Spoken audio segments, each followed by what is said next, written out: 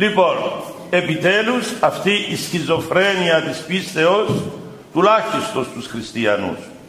Αυτοί που λένε δεν πιστεύουν ή προτιμούν τον καφενέ είναι δικαίωμά τους. Αυτοί είναι οι πιο αυθεντικοί, είναι οι πιο ειλικρινείς. Εγώ μιλώ για μας που ερχόμαστε στον οίκον του νικητή του θανάτου.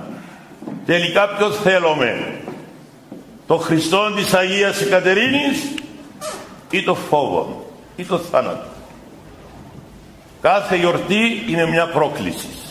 Το Πάσχα είναι μια δόξα για αυτόν που αγαπά τον νικητή. Για αυτόν που το δείχνει έμπρακτα ότι τον αγαπά. Που δεν φοβάται ούτε αρρώστιες, ούτε θάνατον, ούτε φτώχες, ούτε προσφυγές, ούτε πολέμους, ούτε σεισμούς, ούτε καταποντισμούς. Αυτά όλα είναι όχι τιμωρία, παιδαγωγικά μέσα.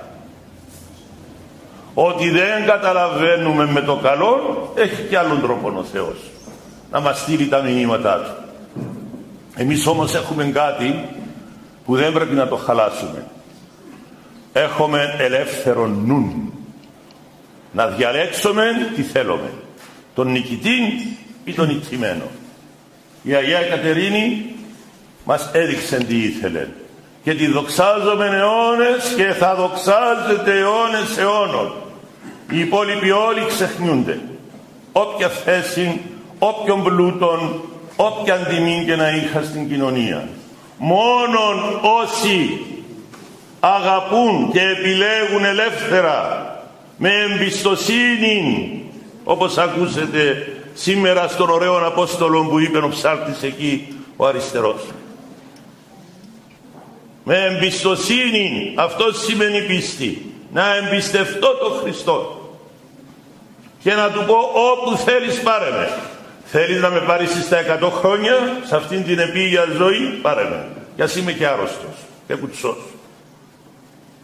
Θέλεις να με πάρεις αύριο για την αιώνια ζωή σου πάρε με. Μαζί να είμαστε μόνο Χριστέ μου. Εγώ θέλω να είμαι με τον νικητή αυτός ενήγησε άπαξ και διαπαντός. Μια φορά για πάντα και για όλους. Εμείς πρέπει να διαλέξουμε. Και προσέξτε τι σας λέω. Ήρθε η εποχή της επιλογής. Και διαλέγουμε και όποιο διαλέξουμε θα μας διαλέξει.